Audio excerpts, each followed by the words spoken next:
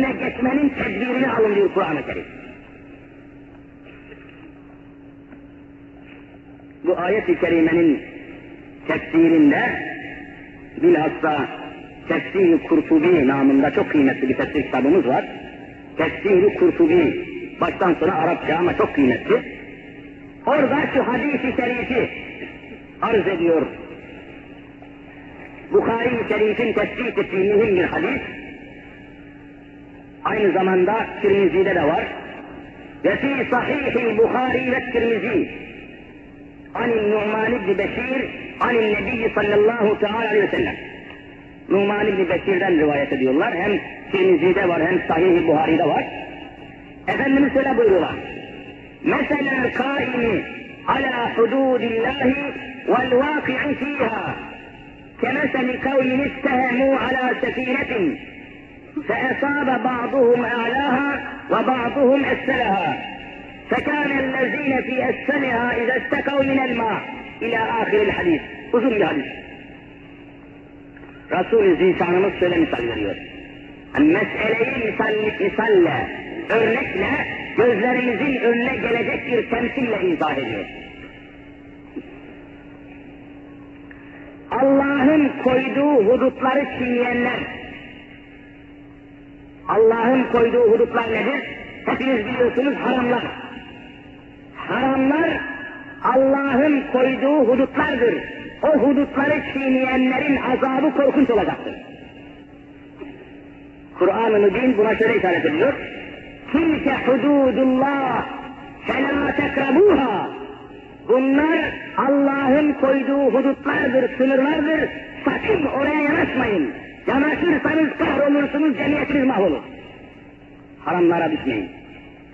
Mesela bir kadının tepeden tırnağa örtülmesi Allah'ın emridir. Sadece elleriyle yüzü müstesna boydan boya bütün vücudunu kapatması Allah'ın emridir. Allah'ın hudududur. Allah'ın koyduğu hudut. Cenab-ı Hak bir kadın için hudut çiziyor. Hudut çiziyor. Bu hududu çiğnemek demek, açık saçık gezmek demektir. Veya açık saçık gezmek demek, Allah'ın koyduğu hududu çiğnemek demektir. Hudut. Bunlara karşı çıkılacak, bunlara karşı geniş çaplı İslami tebliğat yapılacak, İslami talimatlar söylenecek, vaaz-ı nasihatlar, ilahi hükümler, ilahi emirler her tarafa tahmin edilecek. Bunlar Müslümanlar yapması lazım gelen vazifeler biraz sonra göreceğiz.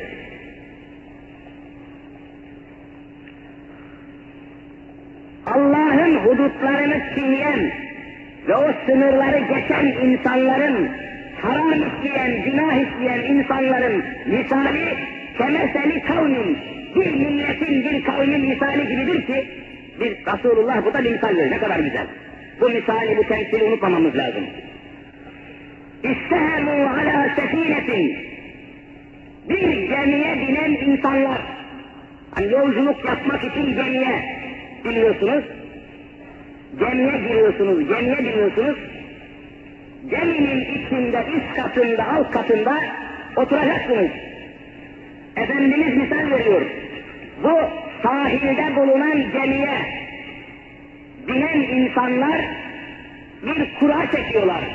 Kura. Kim, kim üst katta oturacak, kim alt katta oturacak? Üst katında yani güvertede ve bir de alt katta oturacak insanların oturacakları yeri tayin etmek için kura çekiyorlar, kura çekiyorlar. فَاَسَابَ بَعْضُهُمْ اَعْلَاهَا وَبَعْضُهُمْ اَسْفَلَهَا Yolculardan bir kısmı güverteye üst kata düşüyor, bir kısmı alt kata iniyor. Yolcular yerini alıyor, gemi limandan sahilden ayrılıyor, yoluna devam ediyor. Gemi devam ediyor. Sonra فَكَانَ الَّذ۪ينَ ف۪ي اَسْفَلِهَا O geminin esfelinde alt katında, aşağı katta oturan yolcular اِذَسْتَكَوْ مِنَ الْمَاءِ Bir takım işleri için suya ihtiyaç hissediyorlar ve su istiyorlar. Onlara su lazım oluyor. Geminin alt katında oturanlar su istiyorlar. Suya ihtiyaçları oluyor. Ve diyorlar ki bu suyu almak için üst kata çıkmaya lüzum yok. Oturduğumuz geminin alt katında oturduğumuz yerin hemen yakınında suyun üzerinde gidiyoruz. Şu gemiyi şuradan bir parmak kalınlığı delelim de suyumuzu buradan yakından alalım diyorlar. Gemiyi alt katında deliyorlar. Ne lüzum var yukarıya çıkmaya diyorlar. Ne lüzum var başka yere gitmeye. İyisini geminin alt katında oturuyoruz. Hemen şuradan bir çiviyle bir çekişle bir delik açalım, gemiyi delelim. Oradan suyumuzu alır, ihtiyacımızı görürüz diyorlar.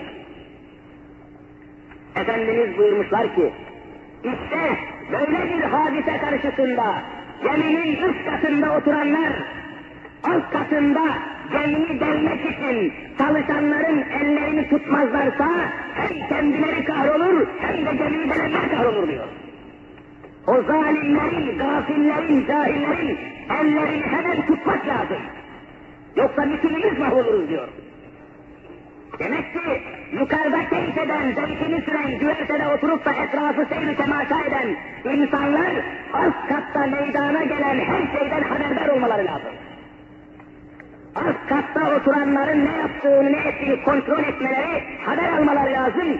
Orada bir zulüm, cehalet, sapıklık, aptallık varsa hemen müdahale edip önüne geçmeleri lazım. Ne ne lazım derlerse ya ne yaparsa yapsın karışmayın. Neyinize lazım? İster gemiyi dersinler, ister dermesinler demeleri hepsinin mahvına ve batmasına olur buyuruyor. Şu misal ne kadar güzeldir. Şu temsili Muhammedi ne kadar güzel bir ibret, ne kadar güzel bir ders veriyor. Demek ki aziz müminler, derhal o zalimlerin elleri tutulacak, önü tutulacak, meydan verilmeyecek, fırsat verilmeyecek ve işlediği felaketin önüne geçirecek. Ne lazım denirse, canım karışmayın ne yaparlarsa yapsınlar denirse, bütün bir geminin batması mukadderdir, herkesin kahrolması mukadderdir. Müslümanların tavrı burada çok iyi. Bakınız İmam-ı Kurtubi şu çıkarmış buradan. Fefi hazel hadisi şu hadisi şerifte anlamak zorunda olduğumuz manalar var. Ne hüküm çıkıyor bu hadislerden? Tehzibil ammeti bizunubil hasati. Bir takım kişilerin, bir avuç zalimlerin, kafirlerin, cahillerin işlediği günahlar sebebiyle Allahu Teala'nın kocaman bir milleti azap altına alacağının caiz olduğu ortaya çıkıyor diyor. Tazibül amme, umumu azap altına almak Allah'ın adetlerindendir. Bir kısım insanlar günah işlerler, haram işlerler, Allah'a isyan ederler. Yine, yine bu hadis-i şerifte bir takım manalar ve hükümler var.